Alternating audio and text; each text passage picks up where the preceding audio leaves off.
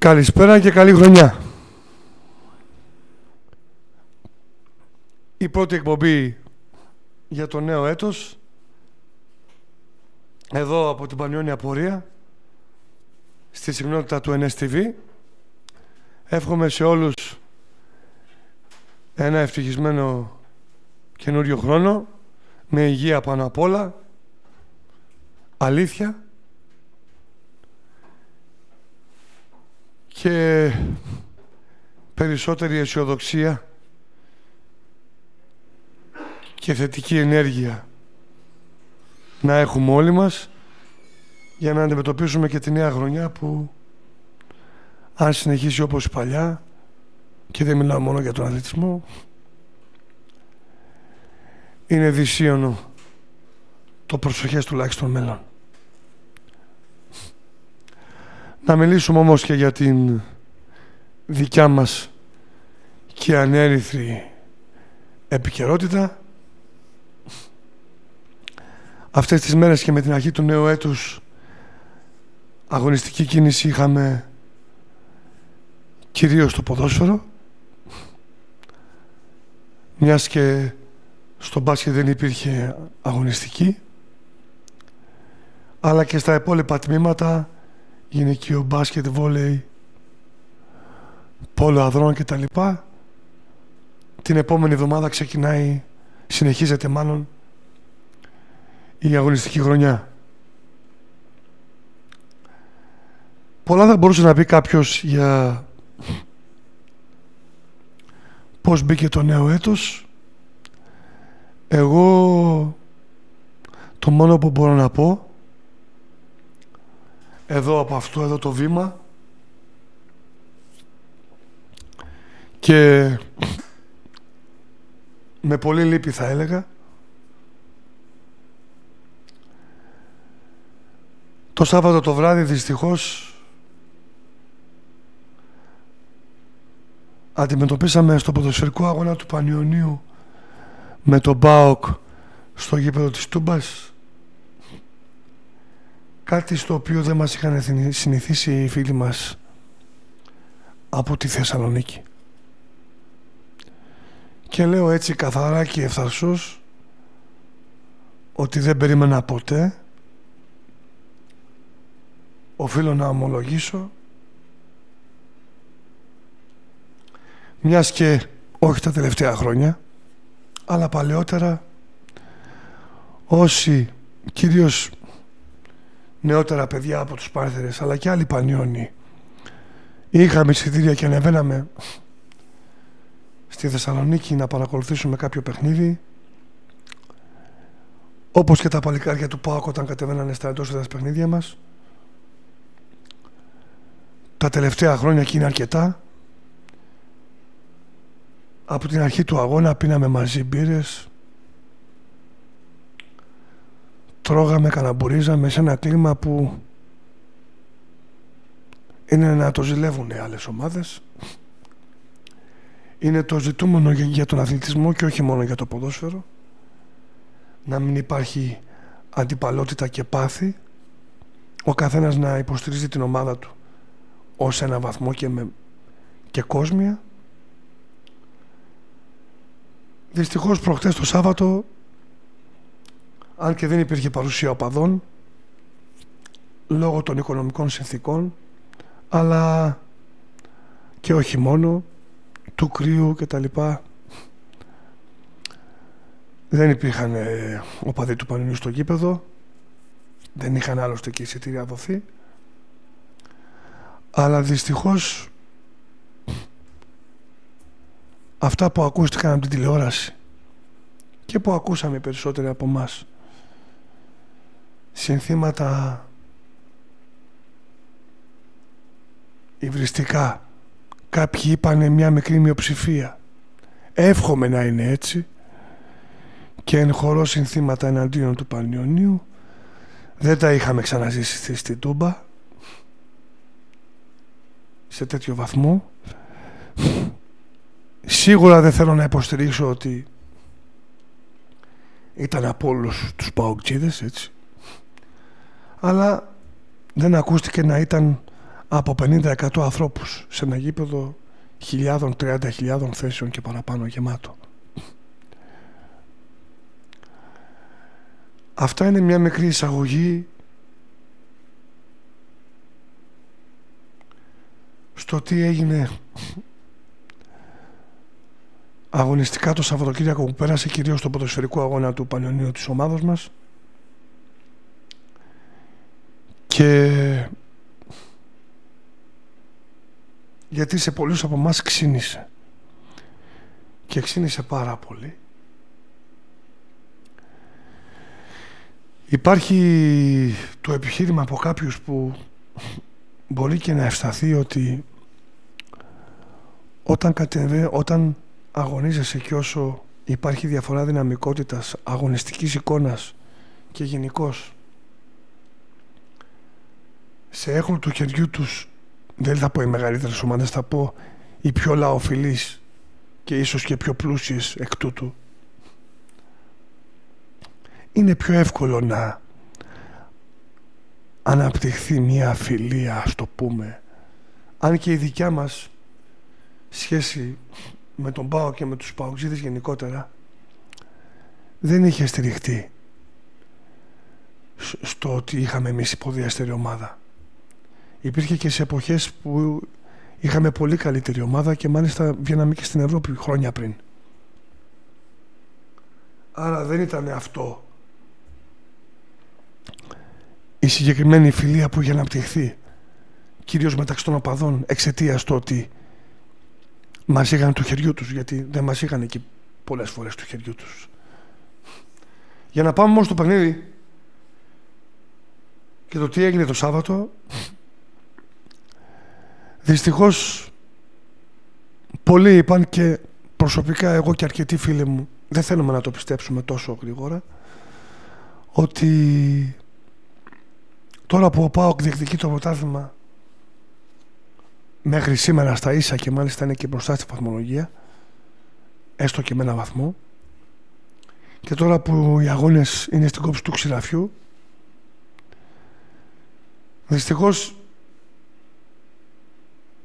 οι οπαδοί ξεχάσανε πολλά από αυτά που έχουν ζήσει με εμάς τους Πανιόνιους και στη Θεσσαλονίκη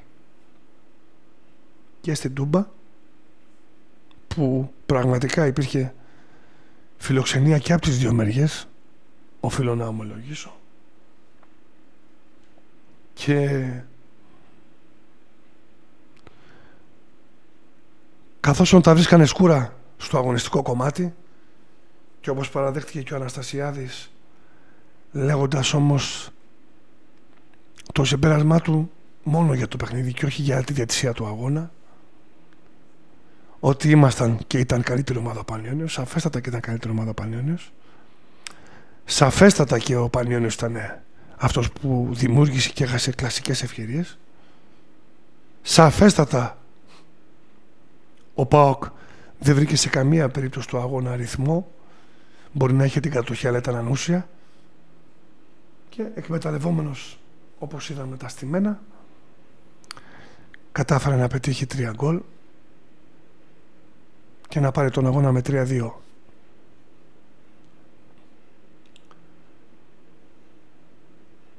Αναφερόμενος στη θυσία πολλά μπορεί να πει κάποιος εδώ δεν είμαστε ούτε δημοσιογράφοι ούτε αναλυτές αλλά υπάρχει μια αρχή που θα ήθελα να τη μοιραστώ μιας και εγώ ε, οπαδός της ομάδας του Πανιωνίου είμαι προσπαθώ όμως πάντα να έχω ένα μέτρο και να σκέφτομαι όσον αφορά τις αποφάσεις των διαιτητών σύμφωνα με τον παρακάτω γνώμονα θα έλεγα. Ποιος είναι αυτός, είναι πολύ απλός και αν το σκεφτείτε δεν πέφτει ποτέ έξω. Να μιλήσω πρωτίστως για το πέναντι που κέρδισε ερχόμενος ως αλλαγή ο Παπαδόπουλος του ΠΑΟΚ το οποίο βέβαια μπήκε γκολ και αν θυμάμαι ήταν και το το 2-2 ή όχι το 3-2. Τέλος πάντων δεν έχει σημασία. Η ερώτηση είναι απλή. Η συγκεκριμένη φάση στο συγκεκριμένο γήπεδο εάν γινόταν σε αγώνα όχι πάω Πανιόνιου αλλά πάω Ολυμπιακού και αυτό το πέσιμο με αυτή την επαφή που και στο μπάσκετ θα σας εξηγήσω μετά τέτοιες επαφές μέσα στο καλάθι και ειδικά στους ψηλούς γίνονται και δεν δίνονται που είναι άθλημα επαφής η επαφή σημαίνει φάουλ. Στο άθλημα της καλαθοσφαίρησης λοιπόν εάν η συγκεκριμένη επαφή την είχε παίκτης του Ολυμπιακού σε αγώνα πάω Ολυμπιακός στην Τούμπα και δινόταν πέναντι η ερώτηση είναι πολύ απλή. Ποια θα ήταν η αντίδραση του κόσμου του ΠΑΟΚ και της διοίκησης περαιτέρω. Εάν σκεφτόμαστε όλοι έτσι, εάν δηλαδή λέμε αυτό τι είναι, θεωρώ ότι αυτός είναι ο καλύτερος νόμονας. Για να πούμε τότε πώς θα μας φαινόταν εμάς εάν γινόταν κάτι τέτοιο εναντίον της ομάδας μας. Στο διατάφτα όμως. Το συγκεκριμένο απέναντι το εκβίασε και το κέρδισε ο Παπαδόπουλος. Έγινε μισή κίνηση, να μην πω ούτε και μισή, απλώς άλλαξε τη φορά του κορμιού του ο αμυντικός του Πανιόνιου, έπεσε και κέρδισε την επαφή με το γόνατό του ο Παπαδόπουλος και βέβαια την κέρδισε για να μπορέσει μέσω αυτής της επαφής να αφήσει τον εαυτό του να πέσει κάτω, να βουτήξει δηλαδή και να, και να πείσει τον διτητή να δείξει την άσπρη βούλα. Θα πει κάποιος αν η ίδια επαφή γινόταν στο κέντρο του γηπέδου δεν θα μπορούσε να σφυριστεί φάουλ. Αν η επαφή αυτή η οποία σίγουρα δεν προκάλεσε το πέσιμο του Παπαδόπουλου. Η απάντηση είναι απλή. Στο κέντρο του γηπέδου δίνονται πολλά φάουλ, σωστά ή λάθος. Τραβηγμένα ή μη. Οφείλω όμως να θυμίσω σε όλους ότι η ποινή του, του πέναλτι λέγεται από τους δημοσιογράφους χρόνια τώρα η εσχάτη των ποινών. Είναι σχεδόν βέβαιο γκολ. Και αναφέρεται από, το, από όλους τους αναλυτές ότι πέναλτι ως εσχάτη των ποινών για να σφυρίξει ο διαιτητής δεν το σφυρίζει και πολλοί διαιτητές κυρίως στο εξωτερικό στο βρετανικό κυρίως ποδόσφαιρο αλλά και στο γερμανικό εάν δούνε ότι πάει να το εκφιάσει ο επιθετικός.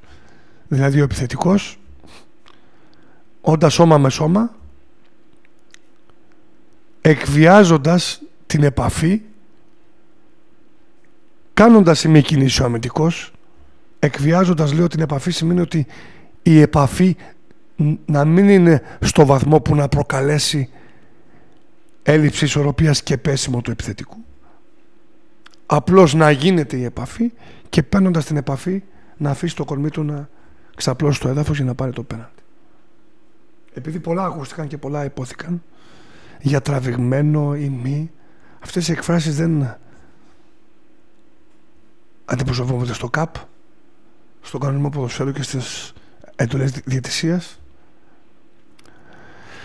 είναι πολύ απλό ότι ο διαιτητής όταν σφυρίζει πέναντι πρέπει να είναι σίγουρος ότι το κτύπημα προκαλεί και το πέσιμο. Αλλιώς μπορούμε να το πούμε τραβηγμένο, μπορούμε να το πούμε εκβιαστικό, μπορούμε να το πούμε ό,τι θέλουμε. Αλλά η εσχάτη των ποινών είπαμε δεν δίνεται με τέτοιους χαρακτηρισμούς. Αυτή είναι η πρώτη απόφαση η οποία προκάλεσε μάλιστα και του Ιμπαγάσα ο οποίος όλοι γνωρίζετε την κλάση του ποδοσφαιριστή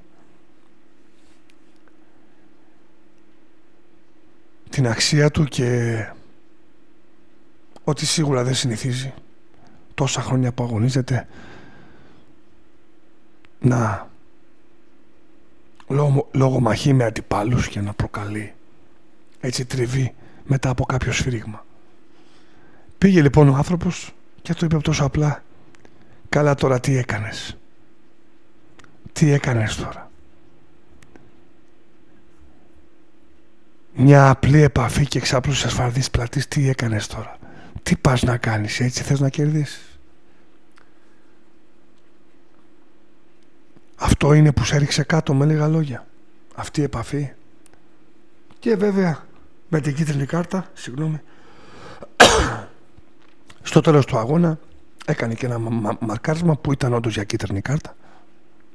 Και έτσι στα τελευταία 2-3 λεπτά του αγώνα δέχτηκε και την κόκκινη. Ευτυχώς από όσο θυμάμαι και καταλαβαίνω θα χάσει μόνο το παιχνίδι με την Παναχαϊκή μιας και είναι κόκκινη κάρτα με δεύτερη κίτρινη και τιμωρείται από όσο ξέρω με μια αγωνιστική η οποία κόκκινη κάρτα θα την εκτίσει στο μάτς που έχουμε σε δύο μέρες την Τετάρτη 7.30 ώρα για το κύπελο με την Παναχαϊκή. Για να συνεχίσω και να τελειώσουμε το τι έγινε στην Τούμπα είχαμε και το ακυρωθέν γκολ είχαμε και το ακυρωθέν γκολ στο 90 για offside που εκεί θα γινόταν το 3-3 και να μου πείτε πολύ καλύτερος ο Πανίνος αλλά θα έπαιρνε στο το βαθμό της ισοπαλίας που είναι πολύ σημαντικός όπως και όλοι οι άλλοι βαθμοί στη βαθμολογική θέση που βρισκόμαστε και για την ψυχολογία της ομάδας αλλά και για την ουσία του πρωταθλήματος στη συνέχεια. Μιας και το πρόγραμμα που ακολουθεί είναι πάρα πολύ δύσκολο. Σημειώνουμε λοιπόν το τέρμα μετά από το κτύπημα φάουλ και ο επόπτης σηκώνει τη σημαία για offside.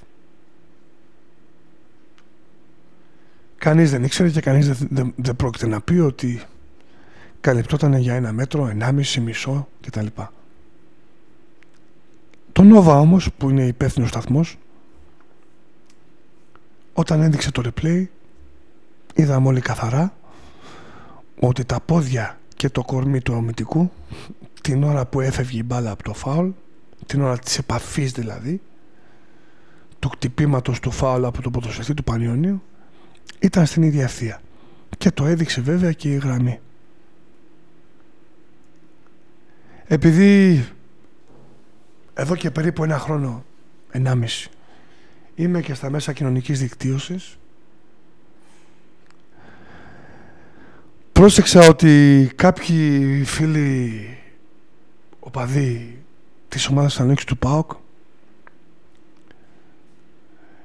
ε, βρήκανε και άλλη ευθεία. Δικιά τους. Αλήθεια είναι ότι μεταξύ δύο σημείων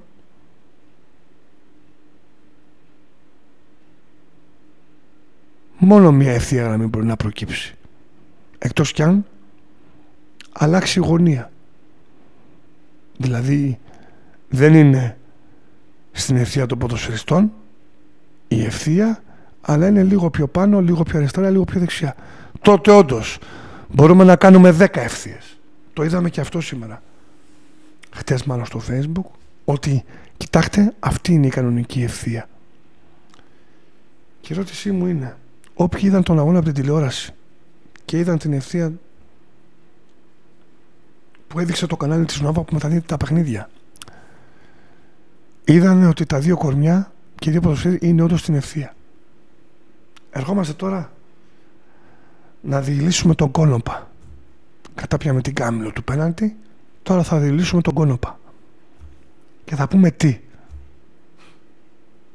Ξέρετε τι θα πούμε; Για να μην έχουμε και προβλήματα με τη γλώσσα μας εδώ στην εκπομπή. Ένα πράγμα μπορούμε να πούμε μόνο. Ότι την ώρα του φάουλ ο, ποδοθε, ο ποδοσφαιριστής του Πανελληνίου που θα δεχόταν την μπάλα να σκοράρει μάλλον είχε κάποιο erection το λένε στα ξένα και κάτι προεξήγε λίγο πάνω από το γόνατο αυτό το κάτι λοιπόν μιας και μόνο τα χέρια δεν πιάνονται στο offside. Πιάνεται όλο το υπόλοιπο κορμί. Ίσως λοιπόν αυτό το κάτι που προεξήχε όταν έγινε δεκαπλή ανάλυση από κάποιους σταθμούς της Θεσσαλονίκης και όχι μόνο. Όταν έγινε λοιπόν αυτή η δεκαπλή ανάλυση είδαμε ότι ο φίλος μας ο Πανιονίτης τι να κάνουμε είδε ότι το ερχόταν η μπάλα έτοιμη να σκοράρει και είχε ερέξιον και κάτι προεξήχε. Αυτό το κάτι λοιπόν θεωρητικά μιλώντας δικαιολογεί τον επόπτη να δείξει να σηκώσει τη σημεία και να δείξει το offside. Όσοι ασχοληθήκανε με τις φάσεις μετά προσωπικά δεν παρακολούθησα τίποτα στην τηλεόραση γιατί είχα προσωπική άποψη την ώρα του αγώνα και δεν με ενδιαφέρει τι θα πει ο, κανένα, ο, ο καθένας όσοι όμως θέλουν να μιλήσουν ουδέτερα και απλά είδανε ότι η αμφιβολία στον επόπτη που δεν έχει το μάτι της πολλαπλούς. Έτσι να το δει πολλα, πολλές φορές έχει ένα ανθρώπινο μάτι και είδε μια ευθεία. Και αν δεν ήταν σίγουρος να θυμίσω ότι ο κανονισμός λέει σε περίπτωση που δεν είσαι σίγουρος το πλεονέκτημα είναι στον επιθετικό εάν είναι πολύ μικρή η διαφορά ή στο όριο η απόφαση αποφάσεις στο όριο στην περίπτωση αυτή είναι υπέρ του επιθετικού που σημαίνει τον κόλλε πρέπει να μετρήσει και επειδή ήταν άνθρωπος ο επόπτης και δεν ήταν κομπιούτερ να μπορεί να δει και να έχει μαγνητοσκοπημένα για να ξαναδεί το δευτερόλεπτο ξανά και ξανά και να επεξεργαστεί μέσα σε ένα-δύο δευτερόλεπτα την εικόνα ξανά και ξανά έπρεπε να κρατήσει τη σημαία κάτω και να αφήσει τον κόλ να μετρήσει. Συμπέρασμα. Δυστυχώς και το προπονητικό team του ΠΑΟΚ όσο είδαμε στην τηλεόραση αλλά και αρκετοί από τους οπαδούς του ΠΑΟΚ δεν θέλω να πω όλοι είχαν εν χορό ευριστικά συνθήματα σε βάρος του Πανιωνίου. Αυτό δεν το έχουμε ξαναζήσει στην Τούμπα. Σε αυτό το βαθμό για να ακούγεται και, και, και από τηλεοράσεως και από ό,τι φαίνεται τώρα που οι φίλοι μας στη Θεσσαλονίκη κυνηγάνε πρωτάθλημα για το. Και πατάμε και επιπτωμάτων και ξεχνάμε το εφαγωνίστησε ξεχνάμε τις περιπτώσεις που η δικιά τους ομάδα και είναι αρκετές αυτές όχι τόσο στο φετινό πρωτάθλημα αλλά σε όλα τα προηγούμενα είχε κατάφορα αδικηθεί από τη, τη διαιτησία έχει έρθει δηλαδή στο μέρος που είναι σήμερα ο Πανιόνιος. Και, πια που, και μια και μιλάμε για μπέσα και μπεσαλίδικες συμπεριφορές ο κύριος Αναστασιάδης σωστά, σωστά τα είπε για το ποιος ήταν καλύτερος. Ξέχασε όμως να αναφέρει γιατί δεν κέρδισε ο καλύτερος ή γιατί ο καλύτερος δεν πήρε τίποτα από το, από το συγκεκριμένο αγώνα ανέφερε τις αδυναμίες της ομάδας του ανέφερε το ότι έτσι δεν μπορούν να κάνουν τίποτα στο μέλλον και να διεκδικήσουν πρωτάθλημα αλλά ξέχασε να, να αναφερθεί γιατί ο καλύτερος έφυγε από το γήπεδο με μηδέν βαθμούς. Ίσως να ήταν η Παναγιά. Ίσως να ήταν κανένας Άγιος. Δεν ξέρει. Σίγουρα πάντως, ό,τι και να ήταν, ο Πάοκ είχε τη βοήθεια που χρειαζόταν στο, στο συγκεκριμένο παιχνίδι για να πάρει την νίκη που δεν άξιζε και να αφήσεις σε εμάς την πίκρα ότι με ένα τέτοιο νυμπαγάσα και με, και με ένα κέντρο θα έλεγα και επίθεση να παίζει αυτό το απλοϊκό ποδόσφαιρο και να έχει κίνηση στο χώρο σίγουρα οι βαθμοί θα έρθουν. Θα έρθουν θα πει κάποιος. Μεγάλη κουβέντα έπες. Θα έρθουν αν η αμυντική λειτουργία μας και κυρίως η λειτουργία μας και η συμπεριφορά μας στις τιμένες φάσεις όταν αμήνεται ο Πανιόνιος βελτιωθεί και αλλάξει ριζικά. Εάν οποιαδήποτε ομάδα στο παγκόσμιο ποδόσφαιρο πετυχαίνει δύο γκολ και δεν μπορεί να πάρει ούτε το βαθμό της ισοπαλίας μέλλον και ζωή δεν έχει. Μέλλον και ζωή δεν έχει καμία ομάδα που σκοράρει δύο φορές και δεν παίρνει ούτε το βαθμό της ισοπαλίας. Διαχρονικά στο άθλημα αυτό του ποδοσφαίρου. Γιατί; Γιατί πολύ απλά όλες οι ομάδες δημιουργούν 5, 6, 7 ευκαιρίες για γκολ και πετυχαίνουν στις 6, 7, 2 ή 3 τέρματα. Παίζει και ο απέναντι τερματοφύλακας, παίζει και η τύχη αν η μπάλα δεν μπαίνει μέσα και βρει ας πούμε τη δοκό. Οπότε μια ομάδα που παίζει ωραία και επιθετικά και δημιουργεί 6-7 ευκαιρίες για γκολ εάν βάλει 2 δεν είναι και τόσο αναποτελεσματική. Αν δείτε όλοι οι σεντερφόρ τα στατιστικά τους ένας καλός σεντερφόρ έχει ένα γκολ στις τέσσερις τελικές από τους καλούς σεντερφόρ ένα στις τρεις έχει ο Άριστος. Μιλάμε για επίπεδο τώρα Μέση, Ρονάλντο κτλ. Λοιπόν, άρα αν στις 7, 6-7 προσπάθειες κλασικές για γκολ σκοράρεις δύο φορές σίγουρα θα ήθελες παραπάνω άρα δεν είσαι και του θανατά. Είσαι περίπου στο μέσο όρο.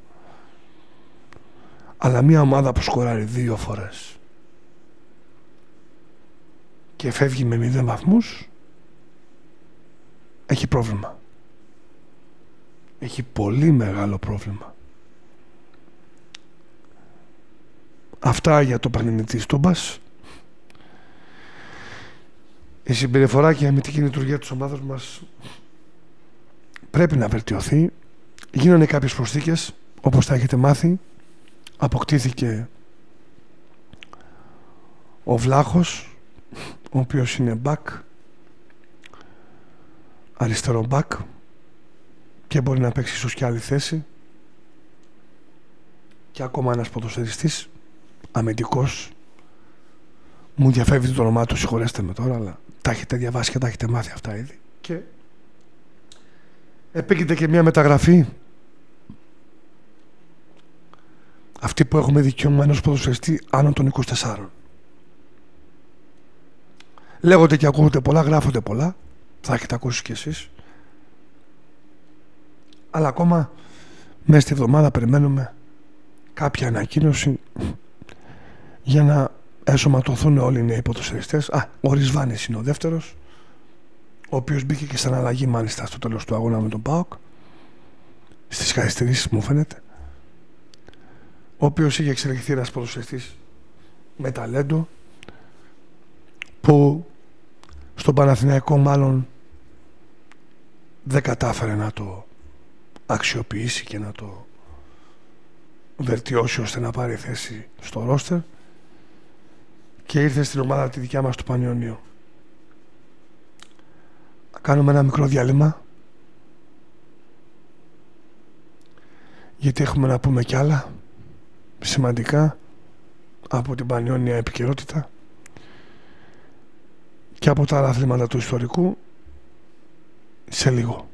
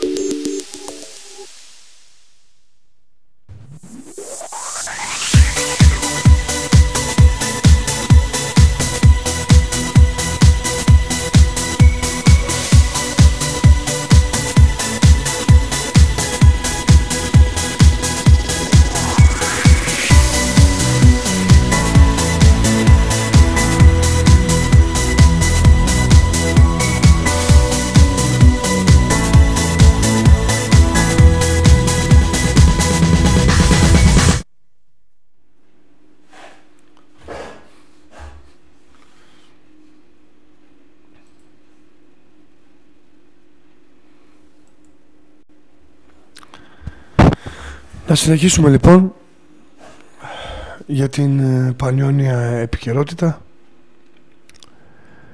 Όπως είπαμε με το ποδόσφαιρο υπάρχει αγωνιστική υπάρχει μάλλον αγωνιστική δραστηριότητα την Τετάρτη μεθαύριο 7.30 ώρα το παιχνίδι κυπέλο με την Παναγακή στο γήπεδο στο στάδιο της Νέας Μήνης που είναι το τελευταίο για το θεσμό του κυπέλου που, που όπως ξέρετε είναι σε ομίλους. Στο δικό μας όμιλο είναι ο Ολυμπιακός, η Παναγακή, ο Φωστήρας και ο Πανιόνιος.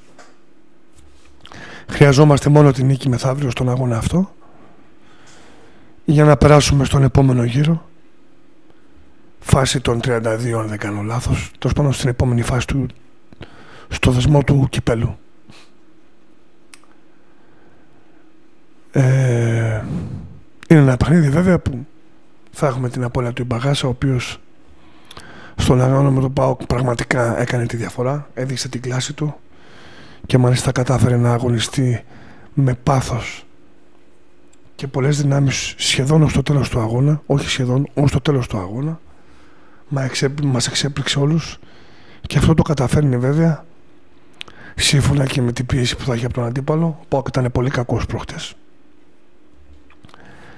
λόγω και της εμπειρίας του και λόγω του γεγονότος έτσι ότι ξέρει να κρατήσει δυνάμεις. Ένας ποδοσφαιριστής έμπειρος και εγνωσμένης αξίας όσο και να μην τον αφήνει το κορμί του και οι ατοχές του οι σωματικές όπως λέμε συνήθως να βγάλει 90 λεπτά αγώνα κι όμως έχει την εμπειρία και το know-how και τη γνώση, την ποδοσφαιρική, τη βαθιά ώστε να ξέρει πότε να κρατήσει δυνάμεις πότε να μείνει πιο πίσω και πότε να τα δώσει όλα στη διάρκεια ενός αγώνα και αναλόγως με το τέμπο που αυτός έχει.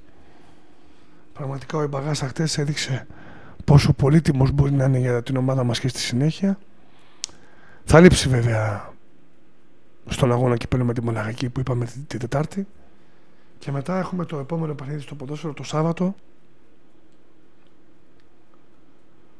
Το απόγευμα με τον Πλατανιάς με τον Πλατανιά του έχεις αναβολής εκτός έδρας για να κλείσει και ο πρώτος γύρος και να ξεκινήσει μεσοαβδόμαδα Τετάρτη ο δεύτερος γύρος με το παιχνίδι πάλι εκτός έδρας με τον εργοτένη στην Κρήτη πάλι. Και έρχεται την επόμενη Κυριακή ο αγώνας με τον Παναθηναϊκό εντός. Όπως καταλαβαίνετε το πρόγραμμα είναι αρκετά δύσκολο οι αγωνιστικές υποχρεώσεις της ομάδας μας συνεχείς. Και η δουλειά και η βελτίωση που πρέπει να, να γίνει είναι σίγουρα πολύ μεγάλη ειδικά στην αμυντική, στο αμυντικό κομμάτι και στο πώς η ομάδα μας κρατάει πίσω να μην δέχεται πολλά τέρματα και μπορεί και η άμυνά της να σταθεί στο ύψος τουλάχιστον των δημιουργικών στιγμών της ομάδος, της επίθεσης και του κέντρου. Διότι αλλιώς δεν γίνεται όπως είπα. Στο άλλο άθλημα το μπάσκετ δεν είχαμε αγωνιστική δραστηριότητα. Υπήρχε ένα φιλικό το Σάββατο με το Πακράτη. Και την προηγούμενη Τετάρτη με το Μαραθηνιακό στο ΆΚΑ, αλλά αυτά είναι για να δοκιμάσουν κάποια σχήματα οι οι προπονητές να δοκιμάσουν τα συστήματά τους. Η μεγάλη νίκη ήρθε στον αγώνα με την Ελευσίνα και ήταν πολύ σημαντική. Μας έφτασε να είμαστε μία νίκη πίσω από την Ελευσίνα και ένα βαθμό και να την έχουμε βέβαια στο γήπεδό μας στο δεύτερο γύρο. Όπως γνωρίζετε όλοι, δύο ομάδες υποβάζονται στο μπάσκετ και πρέπει να περάσουμε τουλάχιστον δύο. Ο Σεπτέμβριος και οι πρώτες 4-5 εβδομάδες ακόμα αυτές πληρώνουμε. Η ομάδα όμως έχει ανασυνταχθεί, έχει βελτιωθεί, απέκτησε και ένα νέο παίχτη στα γκάρτ, ο οποίος βοήθησε και στο παιχνίδι με την Ελευσίνα εκτός έδρας και ήταν τρεις-τέσσερις μέρες στην Ελλάδα. Έχει μπει στο κλίμα της ομάδας και όλη η ομάδα με την προσθήκη του νέου παίκτη από την Αμερική θα παρουσιάζεται συνεχώς βελτιωμένη. Το ερχόμενο Σάββατο έχουμε τον εντός αγώνα με τον Απόλλων Πάτρας. Το γήπεδο πρέπει και πιστεύω ότι θα είναι γεμάτο άλλωστε έχει λείψει από μας και από όλο τον κόσμο που αγαπάει και το μπάσκετ και στηρίζει και αυτό το τμήμα του Πανιωνίου η αγωνιστική δραστηριότητα πολλές μέρες τώρα. Και είναι μια ευκαιρία να συνεχίσουμε το σερί να κερδίσουμε και τον Απόλλωνο Πάτρας ο οποίος και αυτός έκανε μια πολύ δύσκολη νίκη με τον Κολυβό Αμανιάδα στο γήπεδο του την προηγούμενη αγωνιστική. Αλλά όπως έδειξε σίγουρα μπορούμε να το κερδίσουμε στο, στο γήπεδο μας και γιατί όχι και στο γήπεδο του μετά. Να συνεχίσουμε λοιπόν ένα σερήν που θα μας φέρει ακόμα πιο κοντά στη σωτηρία θα μας ανεβάσει και ψυχολογικά και βαθμολογικά εβδομάδα με τη βδομάδα. Και θα ήθελα εδώ να πω κάτι πάρα πολύ σημαντικό. Εδώ και περίπου λίγο πριν τα Χριστούγεννα 15 μέρες με 18 η διοίκηση της ομάδας έχει αποφασίσει και αν θυμόμουν θα σας την έδειχνα και σε εικόνα και live που λέμε να μειώσει τα εισιτήρια διαρκείας, τις κάρτες διαρκείας αν θέλετε να το πούμε στη μισή τιμή. Αυτό σημαίνει ότι από τις 20 του μηνός 18, 17-18 Δεκεμβρίου και μετά οι πολύ φτηνές κάρτες διαρκείας που ήταν για τις θέσεις πίσω από τις δύο πασχέτες στο κλωστό της Αρτάκης για τα εντός έδρας παιχνίδια της ομάδας μπάσκετ του Πανιόνιου είχαν μόνο όπως ξέρετε 50 ευρώ και μάλιστα είχε γίνει και μια διευκόλυνση στην οποία βοήθησα και εγώ όσο μπορούσα σε δύο δόσεις να πληρωθεί αυτό το ποσό για να έχουν όσοι θέλουν και έρχονται στα παιχνίδια του Παλαιονίου εντός έδρας την κάρτα διαρκείας του να μην χρειάζονται να κόψουν εισιτήριο και να περιμένουν σε βροχή ή οτιδήποτε άλλο τη σειρά τους να πάρουν ένα εισιτήριο. Και έτσι υπήρχαν τα εισιτήρια των 50 ευρώ για πίσω από τις πασχέτε, τα πολύ οικονομικά για όλη τη σεζόν, οι κάρτες διαρκείας δηλαδή, και των 100 ευρώ, οι πιο ακριβές, στο κέντρο του κηπέδου, σε κεντρικές θέσεις δηλαδή, πάλι για όλη τη σεζόν. Αυτό εδώ και 15-18 μέρες η διοίκηση και πιστεύω πολύ σοφά και σωστά αποφάσισε για τα τελευταίες κάρτες που έχουν μείνει και δεν είναι πάρα πολλές, οφείλω να ομολογήσω. Αρκετοί πανιόνι ήρθαν να βοηθήσουν και να στηρίξουν αυτή την προσπάθεια που γίνεται από τη νέα διοίκηση και το ρίσκο που έχει αναλάβει με τις μεγάλες οικονομικές δυσκολίες που έχει και το τμήμα μπάσκετ δεν είναι μόνο στο ποδόσφαιρο τα αγκούρια είναι και στο τμήμα μπάσκετ το οποίο να θυμίσω ότι έχει και πολύ λιγότερα έσοδα έτσι και ξεκίνησε και μία σεζόν ακέφαλο, χωρίς διοίκηση, χωρίς τίποτα για 4-5 αγωνιστικές. Λοιπόν η νέα διοίκηση έχει αποφασίσει να ρίξει τη τιμή στο 50% στη μισή δηλαδή. Όποιος λοιπόν θέλει και από αυτό εδώ το βήμα πρέπει να το πω για τις επόμενες 15-20 μέρες. Άλλωστε είναι πολλοί οι αγώνες ακόμα που θα γίνει στο γήπεδο της Αρτάκης. Είναι πάνω από 6-7. Είναι, τι λέω, ιστορίες για αγρίους. Είναι ολόκληρος ο, ο δεύτερος γύρος. 12 παιχνίδια δηλαδή. Στη μισή τιμή μπορεί να αγοράσει εισιτήριο διαρκείας ή κάρτα διαρκείας από 50 μόνο με 25 ευρώ στις θέσεις πίσω από τις δύο πασχέτες και από 100 μόνο με 50 ευρώ στις κεντρικές θέσεις αν θέλει να έχει καλύτερη εικόνα του γηπέδου και να παρακολουθήσει το, τον αγώνα από θέσεις κεντρικές στο κέντρο του γηπέδου. Οι κάρτες διαρκείας για τα σημεία κεντρικά είναι από 50 ευρώ στα 100, από 100 ευρώ στα 50 ευρώ. Για όλο το επόμενο διάστημα 15-20 μέρες Όποιος θέλει μπορεί να πάρει τηλέφωνο στα γραφεία της ΚΑΕ. Είναι ανοιχτά από το πρωί στις 9-10 μέχρι τις 7 το απόγευμα που είναι συνήθως και η προπόνηση της ομάδος και να περάσει να πάρει μία κάρτα διαρκείας δείχνοντας ενεργή τη συμπαράστασή του και στους ποδοσφαιριστές και στη διοίκηση και στους ε, μπασκετμπολίστες της ομάδας μας, συγγνώμη, και στη διοίκηση. Με 25 ευρώ λοιπόν μπορεί να έχει την κάρτα διαρκείας του και να λέει ότι εγώ έστω και αργά στηρίζω ενεργά την προσπάθεια αυτής της διοίκησης και στο οικονομικό κομμάτι να μπορέσει να έχει ένα καλύτερο cash flow για να εξυπηρετήσει τις ανάγκες που πιστέψτε με είναι συνεχείς είναι πολλές και δεν είναι καθόλου λίγες. Μιας και τα έσοδα στο μπάσκετ όπως γνωρίζετε είναι περιορισμένα πολύ περιορισμένα σε σχέση με το ποδοσφαίρο. Καμία απολύτως σύγκριση. Και η ομάδα όπως, είπα, όπως είδατε ενισχύθηκε άλλαξε και το ξένο της.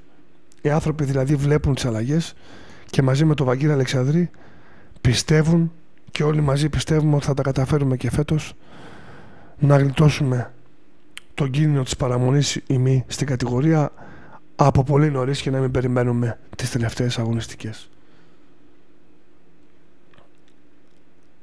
Οφείλω λοιπόν να πω και από αυτό το βήμα όσοι βλέπουν την εκπομπή ή όσοι θα τη δουν αργότερα θα ενημερώσω και με email τους φίλους και, και μέσα από το facebook.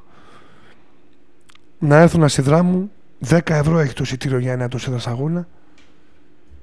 Στην ουσία λοιπόν πληρώνεται το εισιτήριο δύο αγώνων με δύο καφέδες που θα πιείτε στο ημίχρονο και παίρνετε με τα 25 ευρώ δηλαδή το κόστος για να μπείτε σε δύο τόσο παιχνίδια και έχετε την κάρτα διαρκείας μέχρι το τέλος της σεζόν.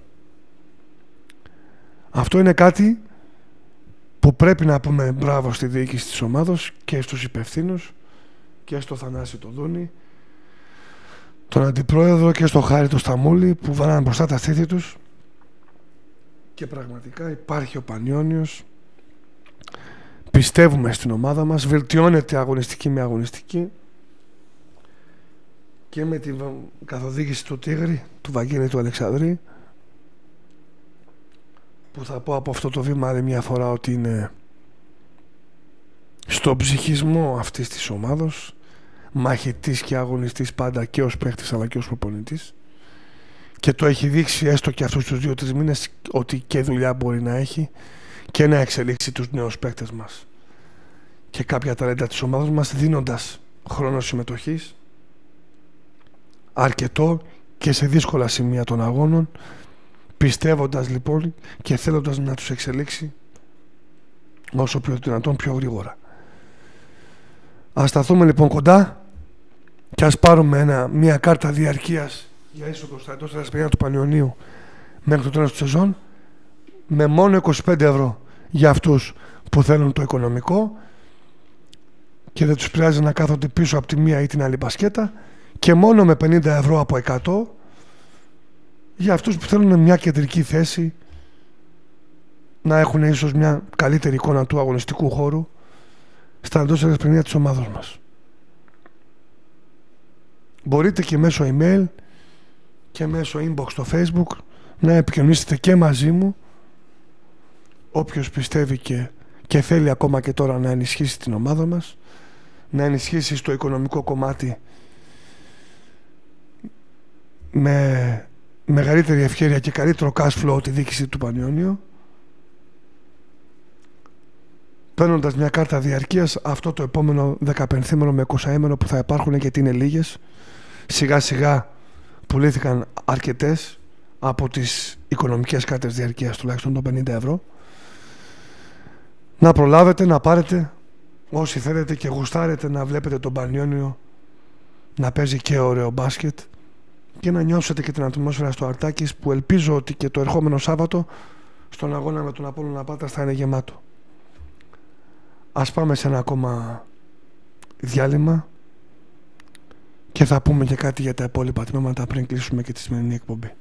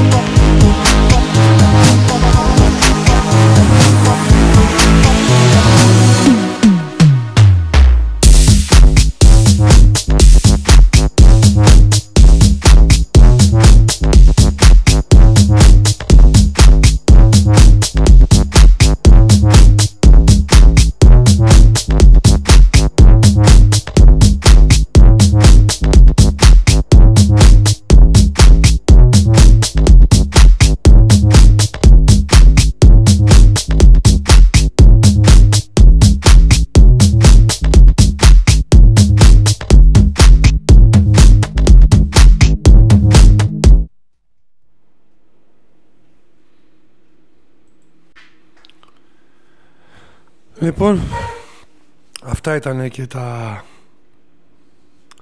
δεδομένα από το μέτωπο του μπάσκετ και τα αριστερικά τμήματα του Πανιωνίου όπως το πόλο ή το μπάσκετ γυναικών δεν είχαν αγωνιστική δραστηριότητα το Σαββατοκύριακο που μας πέρασε Πρέπει να πω δύο λόγια για το Πόλο Αδρών που η ομάδα έχει πάει πολύ καλύτερα από όσο περιμένανε οι αντίπαλοι μας και βρίσκεται πολύ πάνω από τις θέσεις των ομάδων που κινδυνεύουν για υποβιβασμό. Πρέπει όμως να συνεχίσει έτσι και έρχονται πάρα πολύ κρίσιμα παιχνίδια μέσα στο Γενάρη. Πρώτα βέβαια έχουμε τον Ολυμπιακό ο οποίος είναι μια κλάση παραπάνω από τις υπόλοιπες ομάδες του πρωταθλήματος με πάρα πολύ έμπειρους ε, πολίστες και σε ένα άλλο επίπεδο θα λέγαμε. Και όντως έχουμε λοιπόν τον Ολυμπιακό εντός έδρας. Έναν αγώνα που η ομάδα μας σίγουρα θα το παλέψει αλλά οι διαφορές δυναμικότητας είναι πολύ μεγάλες μετά όμως τον Ολυμπιακό έρχονται παιχνίδια με το Φάριρο και άλλες ομάδες που εκεί πρέπει να διεκδικήσουμε την νίκη και αν γίνεται να τα πάρουμε στα επόμενα, στους επόμενους τρεις αγώνες μετά τον Ολυμπιακό για να πάει η σεζόν ακόμα καλύτερα και έτσι να μας βγάλουν ασπροπρόσωπους ακόμα, ακόμα μια φορά τα παλικάρια του Πόλο που αν και νέοι στην ηλικία είναι πολύ μεγάλοι στην ψυχή και στην καρδιά.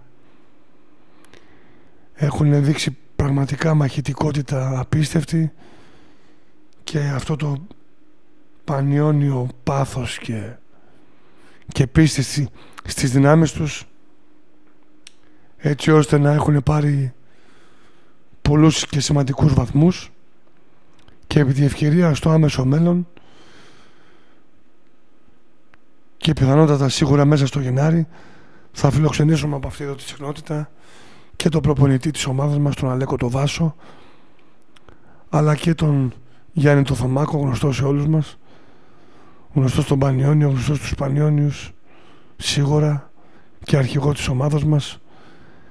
Έχει ζήσει με αυτή την ομάδα πολύ μεγάλες στιγμές και είναι πραγματικά ένα σύμβολο στο ρόστερ του Πανιονίου τουλάχιστον για την ομάδα του Πόλο η αποφασιστικότητά του, η μαχητικότητά του και έτσι η πανιόνια ψυχή του. Αυτά ήταν η πανιόνια επικαιρότητα και κάτι τελευταίο πριν το ξεχάσω την ερχόμενη Δευτέρα μας έκαναν την, την τιμή ο Σύλλογος Παλεμάχων Ποδοσφαιριστών του Πανιωνίου. Οι βετεράνοι δηλαδή της ομάδος μας να κάνουν την κοπή της, της πίτας τους στο Πανιόνιο Στέκι εγώ το λέω Πανιόνια Γωνιά Παύλα Μουσείο με το φωτογραφικό υλικό που έχουμε όλα τα παιδιά που ξεκινήσαμε τη λέσχη φίλων Πανιωνίου πριν Πιστέψτε το ή όχι, ακριβώς 10 χρόνια το καλοκαίρι του 2005. Γι' αυτό και ονομάστηκε άλλωστε. Όπως θα δείτε και στο λόγο εάν μπαίνετε στο ίντερνετ και βλέπετε Λέσχη φίλων Πανιωνίου 2005. Πολλά γίνανε σε αυτή τη δεκαετία. Πολλά λάθη, πολλές όχι λάθος επιλογές. Πολλοί μίλησαν για Πανιόνιο, πολλοί κορέδεψαν κόσμο στον Πανιόνιο. Πολλοί Πανιονάρες πήραν πόστα στον Πανιόνιο και φτάσαμε εδώ που είμαστε σήμερα. Κυρίως βέβαια μιλάμε για το ποδοσφαιρικό τμήμα αλλά και για τον εραστέχνη Πανιόνιο και τη διοίκησή του μέχρι πέρσι το Μάιο. Τα τελευταία τρία-τρία μισή χρόνια δηλαδή. Μακάρι να μάθουμε από τα λάθη μας. Μακάρι οδηγός για το μέλλον του ιστορικότερου συλλόγου της χώρας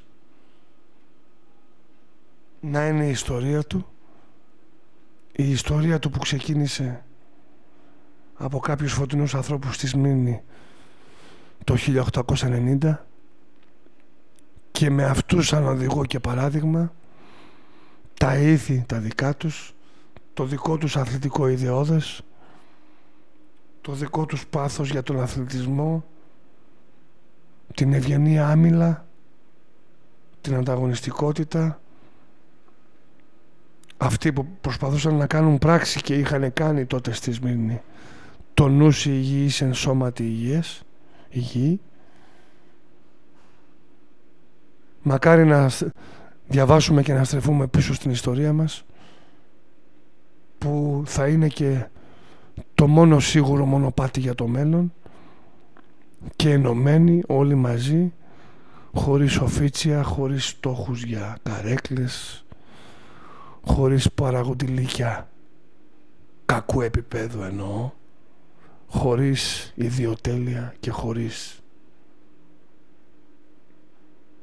τα πολλά εγώ τελικά να υπάρχει ένα μεγάλο εμείς και όταν υπάρξει στο σύλλογο με τις δυνατότερες ρίζες διαχρονικά στον ελληνικό αθλητισμό και πιο ιστορικό και γίνει πράξη, πιστέψτε με στον αεραστέχνη σιγά σιγά γίνεται.